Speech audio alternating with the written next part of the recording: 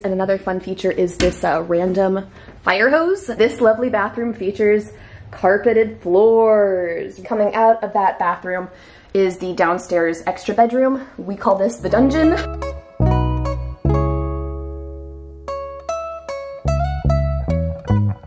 Friends, we have finally made it to me sharing an empty, mostly empty, house tour with all of you guys. Um, Christian has Maddie out in the backyard, they're exploring. We have a nice sloping backyard, but a big backyard nonetheless, and uh, I have some time to myself to share the house with you guys and probably a lot of our plans. We know our renovation plans will change as we get into this process and start like actually figuring out what we can and can't do to this house, but I will share what our like rough going into the house today plans are. So we have our lovely front door here some nice, nice tiles. And then when you're standing right by the front door, you open up into a hallway to the kitchen or the bedrooms. And the other side of this uh, hall closet situation is the main living space. Also, I should mention this home was built in, I think, 1965-ish, and it's very, very original to that. So it's, it's gonna be a lot of work, but there's a lot of potential in this home. So just be prepared that everything is very original to the 60s in this house. Probably some updates here or there, but a lot of love is gonna go into this home. So living space, we have carpets. There are hardwoods underneath this, so we wanna rip these up. These don't look to be in as good of shape as the bedrooms are, so we wanna, I don't know if we're gonna cut this up soon or later, but eventually pull all this up, refinish the hardwoods. We do want to take down this section of the wall right here. This is just a storage closet. And when you're looking at it from this angle, it would be so much more open. Like I could put an entryway table right here. We just think it would be a lot brighter and let more light through the house if we eliminated this. I'm also pretty sure this is not structural, so that should be a relatively easy project. Um, we are playing with the idea of losing the fireplace. It's just very uh, original to the 60s. We don't know if it's structural or not. That's a question for an engineer. If we do keep the fireplace though, we are gonna pull off all of the wood paneling. Hopefully we're gonna have brick all the way up to the ceiling and then refinish like the hearth, the mantle. That's not the mantle. I think this is called the hearth refinish this as like a matching brick so it looks a little more cohesive. Then we've got some big front windows. A lot of the windows need to be upgraded to newer windows. They're kind of old and outdated. We have a piano that came with the home. Um, I think we're gonna keep it if we have enough room for all of our furniture. We don't know if we will, but uh, it would be a nice touch to keep in the house. More of that lovely wood paneling. We'd love to take this down. I think for right now though, this whole wall wood paneling and then this like a uh, chair rail, like half of the wall being wood paneling, we're just gonna paint it. We think paint will do a lot to make this house feel more like ours, a lot cleaner, just a little bit more like not somebody else's home if we just slap some paint on it and deal with like the actual like removal process later. So that's our plan tentatively is like this weekend we wanna start painting that. So the living room kind of is this nice L shape. This is probably meant to be a dining space. They had a fan up here, so maybe they had this as more of a living room continuation. I don't know what we're gonna do. I think ultimately the kitchen's right through here. I think we might expand the kitchen over into this nook, maybe.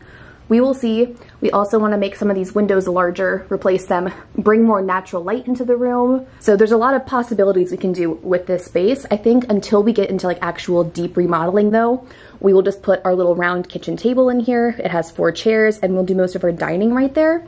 Don't love it being on carpet. Oh, but we'll have removed that and have hardwoods beneath it. Now, right off the little kitchen area, you have this walkway with a nice pocket door if I could open it. There's a pocket door that closes this space off and leads you into, oh gosh, into the kitchen. Here's the view of that other wall. I also don't think this wall is structural, so just to continue the like theme of opening it up, allowing more light to go through, I think we ultimately want to remove this whole situation here. We want this to just open up straight up. Oh, hello teeny tiny. We want this to open straight up into that room at least. And then we have our kitchen. I'm pretty confident the previous owners built this themselves, or at least the cabinetry, but we have the original oven. Still works great.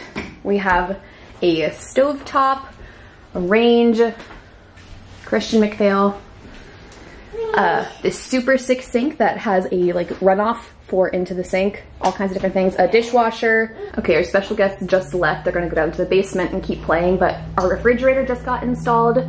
It's a counter depth refrigerator, so it's supposed to be a little more flush. You like don't see the edges of it. It actually fits perfectly where the previous owners used to have their fridge. And then you have another little dining nook. So we could also put our round table in this area. It's a little bit of a smaller area. And I guess ultimately we'd love like the kitchen maybe to keep starting here, but then expand all the way down. And then if we can open, the other side of this wall is where the fireplace is located.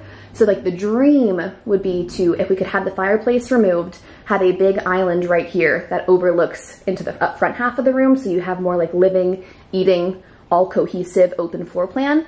We don't think that's possible though. So I think we'll just keep the kitchen walls here, open up this wall and then continue the cabinets and stuff down into this room and maybe put an island in this area. I don't know, still working on that project. But we have a bunch of built-ins here, shelves. I think this was like a shoe cabinet or a spice cabinet. Gosh. Whatever that was supposed to be. These are the pantry. Needs a good scrubbing and cleaning, but it'll work now. I think ultimately we would rather have like an accordion door here if we're gonna put the pantry here. So we will see what we end up using this space for or like how we'd even convert it into that kind of space. So there's the kitchen and the pantries and another fun feature is this uh, random fire hose. Uh, fire safety is very serious here, I guess. I don't think we're gonna keep this. Uh, I don't know how we're gonna take it apart safely, but I think we would much rather just uh, eliminate this situation. So coming in from the kitchen, you have this large, large, large hall closet. Like I was saying, I think we wanna open all of this up. We don't think this piece right here is structural. So opening this up, you would be able to see straight back into the living space at this point. And now walking this way, we go to all of our bedrooms. There is a basement down there. We'll get there in a little bit. We also have a snazzy hall closet, linen closet situation right here next to our hall bath. And this lovely bathroom features carpeted floors. Round of applause for carpets and bathrooms. it's really gross. Um, I don't really like this bathroom at all. I'm terrified of using it.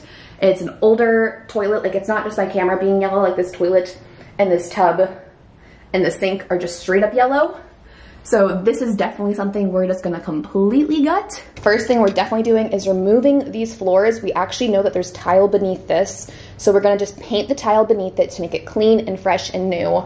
We're also getting a new toilet in today. And then we're also going to be painting this bathtub. So just like a bunch of things to make it a little more livable. For now, you'll see why we wanna do that for this bathroom primarily. Um, hint, hint, it's cause it's the biggest and best bathroom in the house right now, even though there is a master bathroom. That one's also fun. But we'll say bye-bye to this bathroom for now. Right across the hall is the smallest of the three bedrooms. This is gonna be perfect for our new baby's nursery. Right now we have Maddie's pack and play set up in here because there's curtains we can draw shut but it's not terribly small. I think it's 10 feet by 11 feet. Um, a kid's bedroom or an office space. And then once again, you can see the wood floors that continue in here. They definitely need to be refinished and sanded and then like stained and all that stuff again. And we need to be painting the walls and trim and all that stuff. But good, good bones, a good room to start with. So that was this bedroom. Moving on to our second bedroom. This will become Madeline's bedroom. Right now we have my setup for Christian and I to sleep in here just for reasons we'll explain shortly. But this is a larger room. I think it's like 12 feet by 11 feet. It's a little bit bigger, brighter, more windows, closet situation over here. You can definitely tell a lot of this home was like built by the previous owners. Like a lot of the uh, things are like cinder blocks and wood planks and like DIY shelves in the closet. So it's a fun touch, but something that we definitely want to change. Update, clean, refresh. But this is second bedroom, ultimately going to be Maddie's room. Another thing we want to do someday is to put in larger windows. We'd like to replace, I don't know if we want to be this wide, but like definitely larger floor to ceiling situation windows. The more windows, the better in our opinion. So that is the end of this hallway and we're moving over into the primary bedroom and it is very, very blue in here. The carpets are blue, the walls are blue, doors are blue, inside all the closets is blue. So we have a whole wall of closets. We have three sliding doors and then this closet door opens up. So all of that is closet. You can see a little sneak peek at the gorgeous wood floors that are in this room. And the reason we have not put our little bedroom set up in this room is because we hope to rip these carpets up tonight. They look to be in good shape and uh, we're excited to remove old stained blue carpet, and then of course paint this room. Out the back you can see Christian and Maddie having a blast. It's very hot outside, so they're being good sports while I film. And this bedroom overall is like 16 feet by like 14 feet, really, really big, except literally the smallest bathroom we've ever seen. This door is even teeny tiny. It's like, I don't know, three feet wide maybe. And uh, once again, we have lovely carpeted bathroom a toilet, a sink, a little shower. I can like barely fit in this walkway and I am, I'm a smaller human, I'm not very large and uh, I barely fit in here. So we're gonna have to get creative with making this bigger. We don't plan on keeping this floor plan for the house. We would love to see if we can cut into some of the bedroom space over there to put another like kids bathroom over there. And then that hall bath that I showed you originally is right behind this wall. It backs up to our master bath. And we would love to open both of those spaces up, close off the wall to the hallway and have that whole thing be like a more master bath situation. We need to think about that. We need to talk to plumbers permits, all of that fun stuff, but that's what we ultimately want to do. So a nice luxurious primary bath and then move our hall closet that is behind this wall right now to the other side of the hallway. So cut into space of both of the bedrooms. Yeah, they're already small to begin with, but we think a normal sized master bath will be more beneficial than having the bedrooms be like as big as they are right now. We'll see if that actually works out. That's the plan as of today. And the last space to show you in the house is down to the finished basement. I will say upstairs in the house is about 1,250 square feet and the downstairs basement adds 500 square feet to that. So we're looking at about 1,800 square feet total. So going down the stairs, you come into more of like a bonus game room. This fireplace, we believe, is stacked directly beneath the upstairs one. Um, so we don't know what to do with this either. We would like to eliminate it. We don't know if that's a huge structural issue or not. We love to have a fireplace. We love its original. It's just that the house is already small to begin with and all of these big chunky things right in the middle of everything make it really hard to add more light, open it up, modernize the house a little bit. So that's what that rethinking project would be. Even if we could just start to cut down on the paneling, if we could like remove the paneling from here over and then on the other side over, just so it's a smaller footprint of a fireplace, we would love to do that. But this is the entire bonus room. It overlooks the backyard.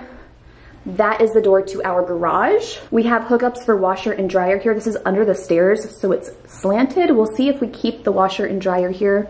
There's also a little funky closet right here. It's very interesting how this was built down here. And uh, this is the another gross bathroom.